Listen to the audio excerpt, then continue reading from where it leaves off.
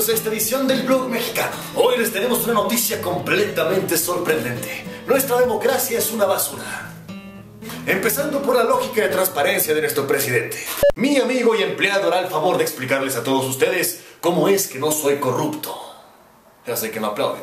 Partidos políticos que ignoran completamente las amonestaciones del Tribunal Electoral. Por ejemplo, el Partido Verde que lleva dos amonestaciones por hacer publicidad en el cine y prácticamente en toda la República Mexicana. Y simplemente les vale madre. Y el divertidísimo hecho de que cada voto nos costará alrededor de 354 pesos en las próximas elecciones. Y que los partidos recibirán alrededor de 5.355 millones de pesos. Y en este contexto tan esperanzador y tan bello, es natural que tomemos posturas de adolescente de 15 años con el corazón roto.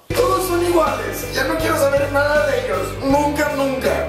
Desgraciadamente así no funciona esto. Si no participamos las cosas jamás van a cambiar y yo nunca dejaré de hacer este blog porque siempre habrá un nuevo escándalo del cual platicar. Y aquí en el blog mexicano sabemos perfectamente que es difícil encontrar algo que hacer en el proceso electoral porque todo parece ser completamente inútil. Para ustedes una guía práctica para la actividad ciudadana.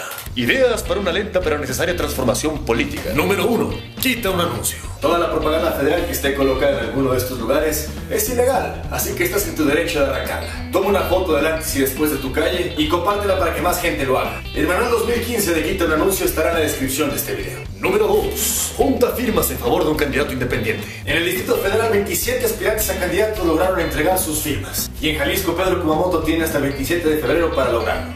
Así que pide un folio y junta firmas, la de tu madre, la de tu tío apático.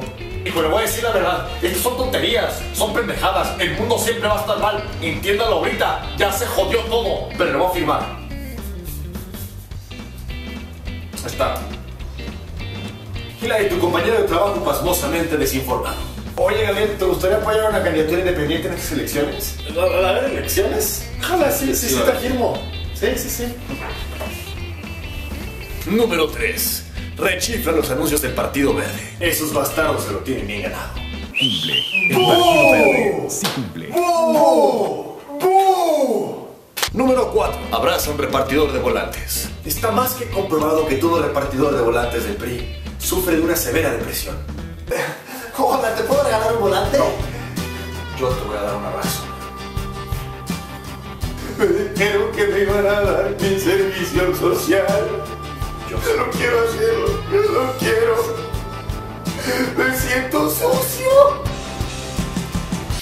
Tienen, cuatro lindas opciones para que no nos pase de noche el proceso electoral desde 2015. Información sobre la campaña de Pedro Kumamoto, así como todas las notas comentadas el día de hoy estarán aquí abajo. Mi nombre es Pablo Ricardos, esto fue el blog mexicano y no olviden suscribirse, comentar, compartir y nos vemos en la próxima edición.